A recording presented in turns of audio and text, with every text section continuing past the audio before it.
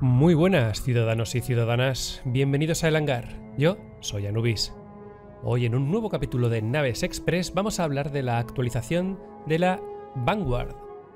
Como ya sabéis, en este último parche 3.6 ha sido recientemente actualizada para acercarse un poco más a lo que era su diseño original, lo cual me parece un absoluto acierto. En realidad todo esto vino porque era necesario eh, rehacer el interior para poder alojar todos los componentes. Bien, aquí tenemos las dos versiones de Vanguard actualmente activas, que sería una versión de combate, eh, la Warden, Warden, y después una versión de transporte de tropas, que sería la Hoplite o Hoplite. A modo de recordatorio os dejo aquí algunas de las imágenes de ese Naves Express original donde os enseñaba eh, cómo era el diseño antiguo por si por lo que sea no lo tenéis situado. En cualquier caso os dejaré el link en la descripción porque bueno, también hablo un, poco del lore, hablo un poco de, ese minijuego del Hyper Vanguard Force que hay por ahí, que sirve para sacar un titulito y una badge. O sea, bueno, ahí lo, lo dejaré en un momentito. Eso sí, el sonido antiguo, para que estéis sobre aviso. Volvemos pues al estado actual de la nave, donde vamos a ir a la parte trasera a echarle un vistazo al diseño tanto de los alerones como de los motores, así como de, bueno, de las nuevas reestructuración que han tenido. Y es que si os fijáis o si vais a ver el otro vídeo, veis que en general ha sido todo lo que es el exterior ligeramente actualizado o, o bueno, para se ha asemejado más al diseño original, como por ejemplo esos brazos hidráulicos que sujetan los motores. También la puerta ha sido cambiada, ahora es más ancha y bueno, Vamos a pasar a ver el interior. Como ya sabéis, el interior saltan chispas por, bueno, por diversas causas eh, de cuando lo invocas o cuando traes este, este vehículo a los hangares. Viene con un nivel de daño. Bien, aquí tendríamos la puerta de acceso a lo que es el motor de Quantum Drive. Si queremos hacer cambios durante el vuelo, queremos arreglarlo, tiene algún problema, ya sabemos que está justo en la cola de la nave. Cuando pasamos a lo que es el interior de la nave, tenemos esta puerta presurizada en primer lugar y aquí esta es la versión Oplite o Plite donde eh, está pensada para lo que es el desembarco de tropas. Tenemos aquí una serie de espacios para guardar cosas, tanto arriba como abajo, un montón de lugar para dejar armas y los asientos para las tropas. Como podéis ver, tiene su método de seguridad y la tropa irá sentada aquí pues para, dejar, para esperar a que la lleves al, lugar de la fiesta. Eh, todas estas versiones, como ya sabéis, tienen una torreta. Esta torreta, bueno, se accede desde, desde la cabina principal. Y vamos a echar un vistazo. En un futuro, algo que, ahora mismo no está implementado, pero sí quiere implementar como parte de ese diseño original, esta torreta, que actualmente está sencillamente puesta arriba, como el 99% de las torretas, será replegable, lo que implicaría que eh, durante el vuelo, si no hay nadie usando la torreta, esa torreta no se vería. Bueno, es más, para que os lo puedo contar, si os lo puedo enseñar. Este es parte del diseño original eh, que se hizo de, esta nave. Como podéis ver, bueno, pues esa torreta es retráctil y en el momento en el que estás en, eh, volando, pues se oculta y cuando te hace falta, pues la sacas para lo que sea. Lo cual, bueno, pues está muy bien. A, la espera estamos de que lo implementen. Bueno, volviendo a lo que nos ocupa, aquí tenemos una visión un poco más periférica de, lo que es la nave y de esa actualización estética tanto interna como externa. Bueno, como podemos ver, se parece bastante más al diseño original, no es que sea calcado, pero, pero sí mucho mejor, los detalles están mucho más cuidados y en general, bueno, pues han aprovechado para que toda la nave eh, esté a la altura de las nuevas naves. Al fin y al cabo ya sabéis que las primeras naves, las naves más antiguas, eh, tienen ligeros fallos de diseño porque bueno, pues no había cosas, había cosas que, no estaban planeadas y que ahora sí. Así que bueno, vamos a seguir echándole un vistazo a la nave. Pasamos por fin, se me ha quedado la cámara torcida. que la arregle un momentito. Ahora.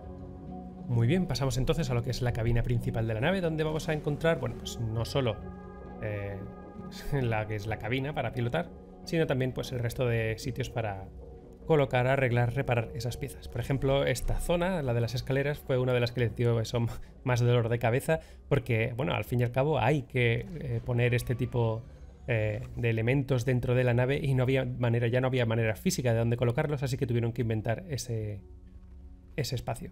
Bueno, por aquí, ¿qué tenemos? Pues el generador de escudos, justo debajo de la planta de energía, tenemos a mano derecha el soporte vital, vacío.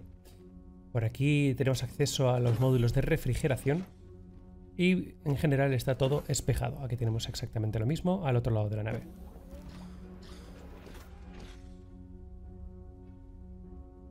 Lo cual, bueno, pues muy bien.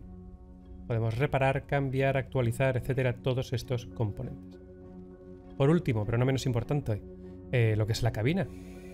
Por regla general, la visibilidad no es nefasta, tampoco es increíble, pero bueno, cumple su función. Tenemos que recordar que esto es de Aegis precisamente.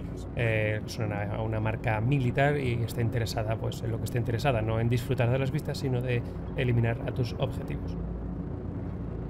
Tenemos nuestros MDFs o nuestras pantallas multifunción justo delante, donde tenemos acceso a todo. Y por regla general, los interiores muy cuidados. Poco más que contar, diría yo. Pasamos pues a su versión hermana, que la teníamos justo al lado, si no recuerdo mal. Vamos a la puerta. Como veis, todo es exactamente igual. Excepto esta parte interior. Bueno, cerramos aquí, tenemos ahí atrás lo del Hyperdrive. Bueno, ¿qué tenemos aquí? Como esta nave es una nave de combate y no es una nave para transportar gente, cambian las cosas ligeramente. Tenemos aquí una estación de ingeniería, tenemos aquí eh, un armario para guardar lo que necesitemos, ropa, eh, armadura, etc. Tenemos aquí más capacidad para, para, guardar cosas, sin problemas, estamos en las mismas, sobre todo tema de armaduras, ropa y, y otras necesidades. Tenemos cuarto de baño, como ya sabéis, en el cuarto de baño no puede faltar su ducha, baño, eh, bueno, primeros auxilios y el váter que está justo ahí.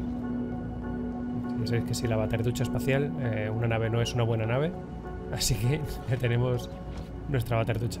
¿Qué tenemos por aquí? Bueno, pues una pequeña cocina, bueno, un lugar para colocar nuestras armas, porque efectivamente esto no deja de ser una nave de combate. Así que bueno, pues nuestras armas siempre tienen que ir bien colocadas y bien guardadas. Vas a cobrar mucha importancia a partir de la 3.7 cuando se fisicalicen los inventarios. Y por último, una zona de cocina, donde bueno, podremos alimentarnos, el almacenaje para la cocina, etcétera, para bueno, es la parte de la supervivencia. Por último, pero no menos importante, bueno, pues para dormir, desconectar de una manera segura, tenemos nuestras camas. Lo hay que hacer, bueno, pues tenemos la animación de entrada y de salida y ya está. Y con esto, pues básicamente vemos lo que es la parte modular de, este de esta nave, en diferencia bueno, con su hermana eh, Hoplite, la Hoplite. ¿no? Lo que es interior, pues ya sabéis, es, exactamente igual que, la anterior.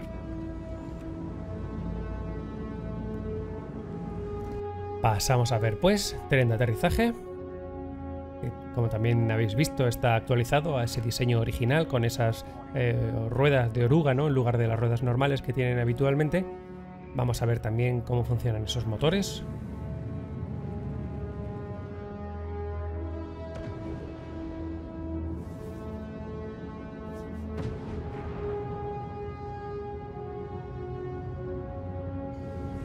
tanto de la parte trasera como de la parte delantera.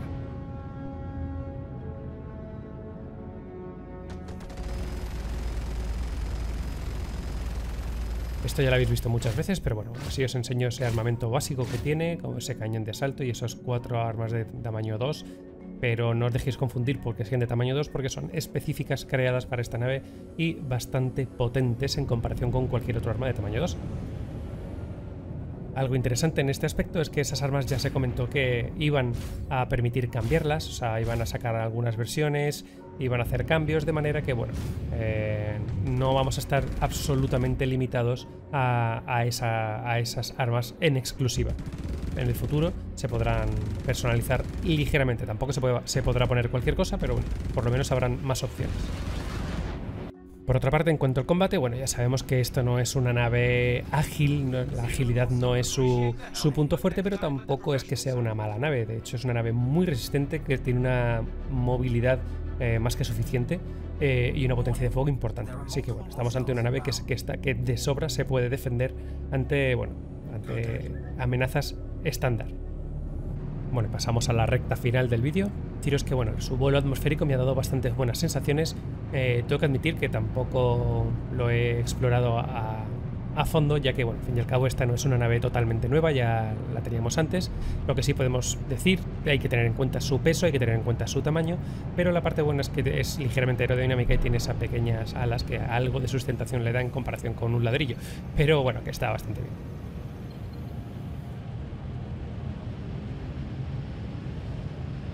También deciros que normalmente esta nave no se puede conseguir, no se puede comprar eh, en la tienda del juego, eh, pero sí como parte de esa, eh, esa ventaja ¿no? que nos da cuando sacan las naves en cada uno de los parches, bueno, pues como esta nave ha salido en el parche 3.6 y si está durante una ventana de tiempo abierto. Si la queréis conseguir, bueno, pues la podéis comprar la Oplite es la versión de, de transporte de marines por 235 dólares y la versión eh, Warden, que es la de combate, por 260 dólares. Eh, pues básicamente eso no es una nave barata, estamos pagando también buena parte de su, de su exclusividad, ya que no deja de ser una nave eh, con potencia militar que te permite desconectar y meterte en espacio profundo porque tiene cierta supervivencia. La verdad es que está, está muy bien, es una nave muy bonita, muy capaz y bueno, a mí la verdad es que está entre, entre mis favoritas. Pues con esto chicos yo creo que he terminado, eh, la verdad ya sabéis, si os ha gustado, like, comentario, decirme lo que creáis y lo que, veáis. Os recomiendo también que echéis un vistazo al vídeo antiguo, solo por, tener una comparación y ver eh, cómo era antiguamente. Y bueno, pues con esto ya me despido, se despide el Ciudadano Anubis, chicos, nos vemos en el universo. Chao.